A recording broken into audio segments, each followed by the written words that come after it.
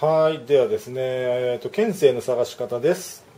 まあねこうまあ普段はねこう服着ているんですけどもちょっと分かりやすく説明したいと思ってちょっとね脱いでいただきました。なのでこの首の付け根のあたり。大体分かりますよねこのカーブがこうきついところにまあこう目立てをつけます。一番高いところですねこの座ってる状態でこうトップのところ。そこから大体肩のこの付け根のこことここの大体真ん中あたりに目あれまあちょっと、目安をつけますよね。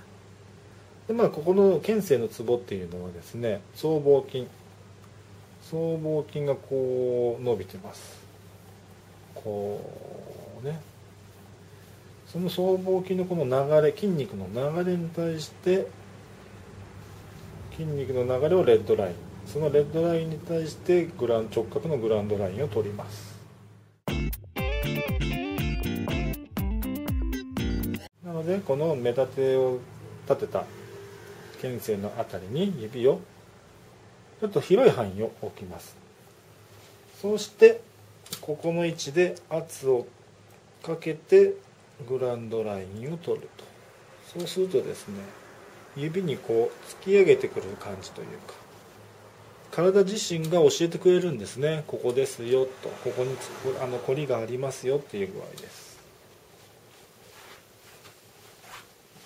まあこの台に対してこうするので指も直角にしてあげるのがいいんですね。なのでこう指を置いてこう動かす。ちょっと見えませんね。反対ですね。こうこですね。そしたら今度は横にもしていきます。でこうぐるぐる回していって最終的に指が収まるところで一番突き上げ感が強いところでぐーっと効かすと。本当はこの角度でやるんじゃなくてですね先ほどのようにこの横からこうやるとか。本当はこの方がね押しやすいですよね。まあこうとかね。あえて横向きで両手で一緒にやると。